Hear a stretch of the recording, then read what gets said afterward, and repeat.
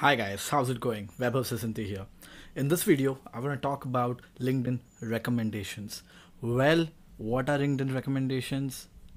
These are the LinkedIn recommendations. When some when when someone writes an actual recommendation for you on LinkedIn, they are basically called LinkedIn recommendations. Now, since it's a growth hacking course, Am I going to talk about the way to automate this? Absolutely not. Because LinkedIn recommendations has to be as personal as possible because in LinkedIn recommendations, they, people don't look for 100 recommendations. People look for 10 good recommendations. These are vouchers from people saying you know shit right? You know the stuff that you're talking about. So i would like if i'm a person i would like to read 10 to 15 recommendations but all of them talking about your skills rather than some random stuff.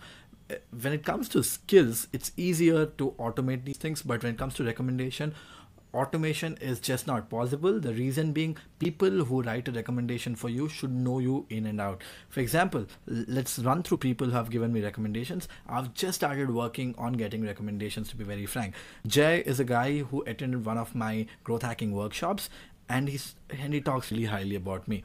Natalia is someone who has who has been ta- who has been taking a lot of my growth hacks, taking my help with growth for a startup. So she has written a right nice recommendation for me. In fact, Natalia has taken this course, so there's a good chance. Natalia, hi, thank you for the recommendation.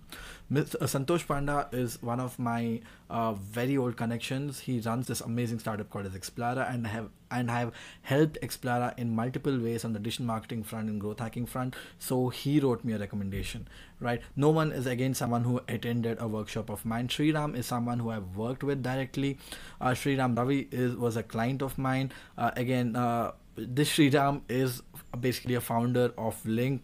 Saurabh is someone who I've worked with in my past, and Sayan is someone who I've worked in the past. So all the recommendations recommendations that I have on my LinkedIn profiles are from people who are really legit and who have worked directly with me at least once in in the past right? So these are the kind of recommendations that i would recommend you guys to have too. That is if someone reaches out to noman or santosh panda sir uh, and asks them about me they should be able to vouch for me like they did in this recommendation. It should not be the case that they have written something based on what you have sent them and they don't even remember who you are right? I stick to i, I mean i follow the same principle when it comes to giving out recommendations. Again you can see that uh, Mazhar is someone there are six recommendation requests but i've not given it to everybody. Mazhar is someone who has worked with me in the past. Sai Kiran is someone again who I've worked with in the past. Raghuveer Yashwant Chaitanya Sushan Anup all these people who have given recommendations to are people who have worked in the past. Now how do how can you request for recommendation? Let's say you have worked with a specific client. How do you request for a recommendation? You click on ask for a recommendation and basically search for the person who you want to be recommended by right? It's as simple as that. You just type out the name. Let's say i want a recommendation from travis. I just i just type his name. Okay travis doesn't come up. Let's say i want a recommendation from dara again recommendations only work when you're directly connected with that specific person right? Let me let me look for my friend Vineet. There you go. You can see that. I can tap on this. I can see the relationship.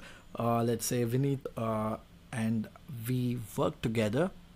So I can say Vineet uh, uh, Vineet reported me directly and the position reported me and I can click on next and I can write a nice sweet message and hit a send right? This would go go him as a request of recommendation and I would strongly suggest this would be this should be the only way you can build up recommendation. But well since it's a growth hacking course I have a I have a hack for this. Listen this course would be taken up by hundreds of people and all the hundreds of people would want recommendations together. So anyways towards the end of the course i would or, or I would be adding you guys to a Facebook group where you could easily exchange recommendations. But again, right, this would just bloat up the number. The recommendations won't make any sense. So I would strongly recommend to keep the recommendations uh, from people who you know and who you have actually worked with. I hope this helps. Thank you for watching the video.